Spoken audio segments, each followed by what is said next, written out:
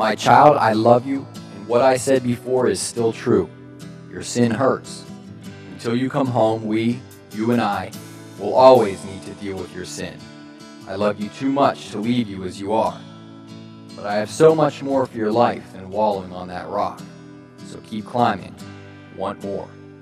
There's more to your life than being saved from your sins. There's more than just getting to go home, to my home, heaven. So want more of our relationship. Want more of me. Resist the urge to think you have enough. This is not the time to stop climbing. It's the time to push farther and harder. You don't have enough. I have more. So want it. Want more. Want more of me.